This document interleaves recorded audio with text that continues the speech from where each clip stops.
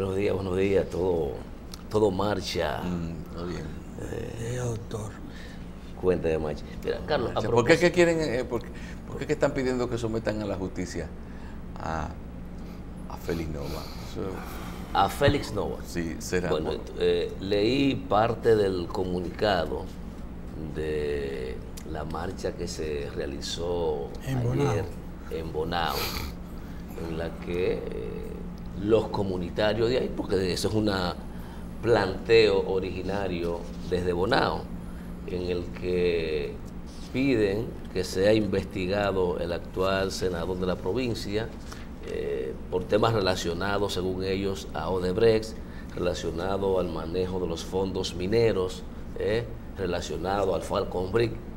Elementos pusieron en la mesa eh, que ellos entienden que justifica una investigación del senador dentro del marco de la celebración de la marcha. Y es la primera vez Pero que suban una instancia a la Fiscalía o a la Procuraduría General de la República. Eso es lo que lo válido en ese sentido. Pero ir voceando por la calle, fulano de tal, fulano de tal. No, es- así no se vale. Vamos a usar la justicia. ellos Si, creo cre- que si creemos en ella. hicieron uso de un derecho de denuncia, ya ahí está también, porque no todo hay que servírselo en bandeja de plata a las autoridades, que están en la obligación de investigar cuando se denuncia la comisión de un hecho. Entonces hicieron una primera parte, ya lo Ir a otro la Fiscalía es brindarle en bandeja de plata. Yo creo, Machi, que ellos hicieron una denuncia. ¿Usted está de acuerdo yo o no con No, la denuncia? no- no eh, juicios de valores. Ellos hicieron una denuncia. Se quedaron ahí. Las autoridades les interesa que abran una investigación. Ellos pudieran también hacer lo que tú planteas. Pero lo que hicieron fue la denuncia por ahora. Yo no voy a trazar de pauta eh, de si deben ir a la fiscalía con expediente o no deben. No, Me- sí. Me estoy refiriendo Sí. a lo que ha planteado Sí, eh, Carlos, que pide que le den cuáles son las razones. No, pero Dije lo- que eh, leí parte del comunicado y las Lo argumentaciones que, ellos es- dan. no, Si eh, seguimos pero- por ese camino, Machi. pararemos en un país Machi, lo, lo que pasa es que a veces uno se, se as- asombra de cómo eh, surgen afirmaciones que uno no había visto antes, porque si realmente ese hombre había hecho tanta cosa mala, yo no sé por qué, yo, eh, o, eh, o, bueno, o quizás se parece que, se- que el sometimiento es por lo que, por lo que ha dejado de hacer, por no haber hecho lo que le corresponde como legislador. Hay muchos roles de los legisladores que mucha gente no, eh, que- como el de fiscalizar, que mucha gente quizá lo desconoce por la falta de uso de la facultad, definitivamente. Pero es así, doctor. Pero esa es la, la- la denuncia que ha planteado. eh, una marcha muy concurrida también La denuncia en per se, la denuncia per se no debe ser un, una, algo protegido por la democracia. La denuncia per se debe acudirse a los mecanismos que sancionan las acusaciones que se hacen. De otro modo, es un rechazo a las autoridades y, y es, estamos entrando en un país anarquista que rechaza todo tipo de autoridad. Bueno, Es lo que yo creo. claro, sí. Bueno, eh, doctor Espinosa, En otro orden, en otro orden. eh, te decía que a propósito de la celebración del segundo congreso de la Federación Dominicana de Cámaras de Comercio, el señor Claudio Fernández Martí, quien es el presidente de esta entidad, hace un llamado al Estado, al Ejecutivo, para tratar de que haya una mejor distribución del crecimiento económico en la República Dominicana a través de la implementación de políticas públicas que puedan lógicamente eh, contribuir a que haya eh, una mayor redistribución a través de estas políticas que puedan permitir un mayor nivel adquisitivo de la ciudadanía como una forma efectiva de dinamizar el mercado en la República Dominicana, bajo la premisa también de que a partir de lograr este objetivo, el Estado estaría en condiciones de ampliar su capacidad recaudativa o recaudatoria. Por lo tanto, creo que, que es un tema al que hay que dedicarle también atención, que es uno de los grandes desafíos que tiene la República Dominicana en materia de crecimiento económico. He dicho que el crecimiento económico no se puede ver como un fin en sí mismo, sino como un medio, un medio para que colectivamente la gente pueda ser beneficiaria de ese crecimiento económico, porque si mantenemos el mismo criterio que he estado operando básicamente en los últimos 25 años que tiene el país creciendo y siendo líder de crecimiento, por lo menos en la región, no vamos a alcanzar los objetivos ¿eh? de tener una sociedad eh, desde el punto de vista económico y social en mejores condiciones. Creo que hay que hacer el mayor esfuerzo para que esto pueda ser así.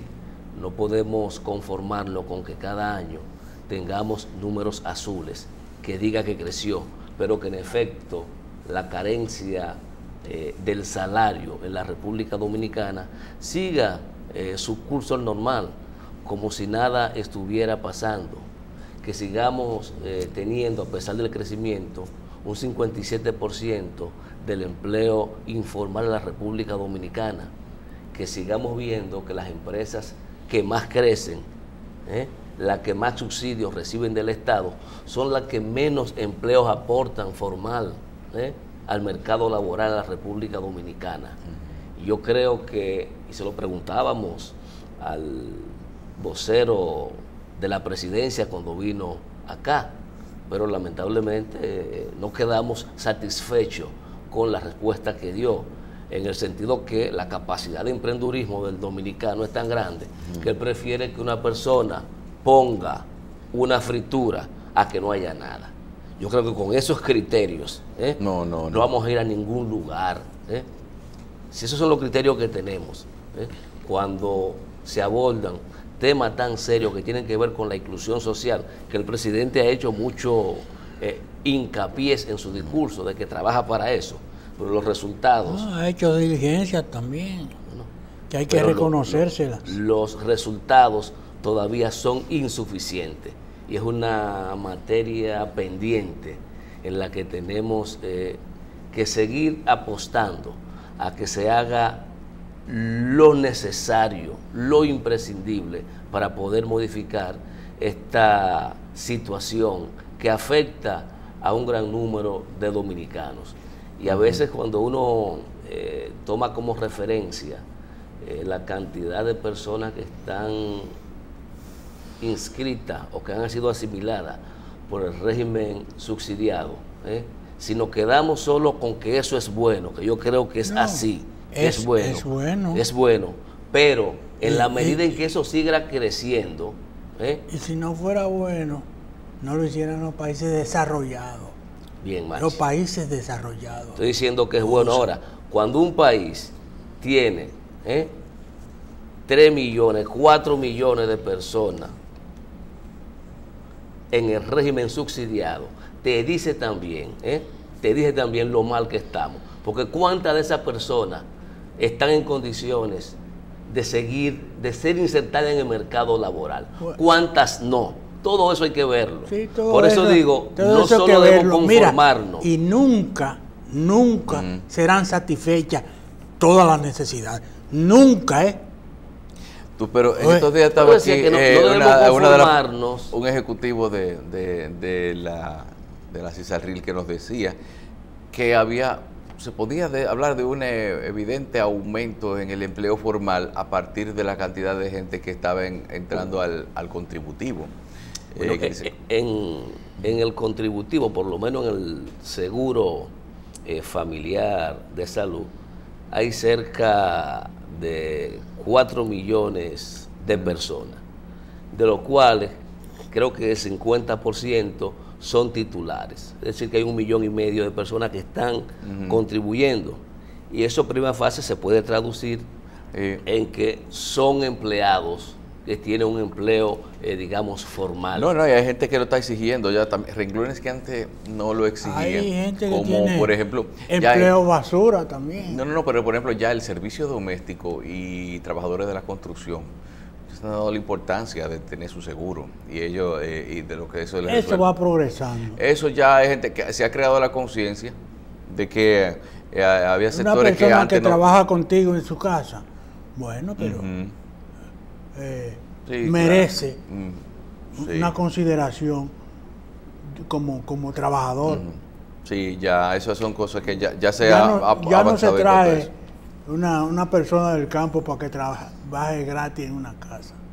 Ujú. En eso se ha, eso se ha super, supongo yo que, se me ha pongan en el superado. seguro, sí, eso se, eso se ve, ese, ese clamor. Pero bueno, así es la cosa. Eh, de crecimiento económico y de todas esas cosas, doctor. Mire, bueno, son parte de, de- de los desafíos ¿eh? que tenemos. Y decía que lo que no podemos hacer nosotros es conformarnos con lo que se ha ido eh, alcanzando. Hay metas eh, que superar. Y si tú dices que de una población de 9, de 10 millones de habitantes, tú tienes esa cantidad impresionante de personas que están en el régimen contributivo, en el régimen subsidiado, ¿eh? te da también una muestra de cómo anda la situación del país, de cómo hay que seguir haciendo esfuerzo para que las cosas... Te dice eh, que el vaso está medio lleno y medio vacío también. Las dos cosas te la dice. Pero también tenemos en la conciencia pública que forman la- los medios de comunicación la misión de decirle al país, no estamos del todo bien, pero podemos ir en camino. No estamos del todo bien, pero podemos ir en camino. Las cosas no se superarán todas. Sí. Bueno, señores, tenemos por aquí a Félix de Sena. Vamos a escuchar las informaciones deportivas.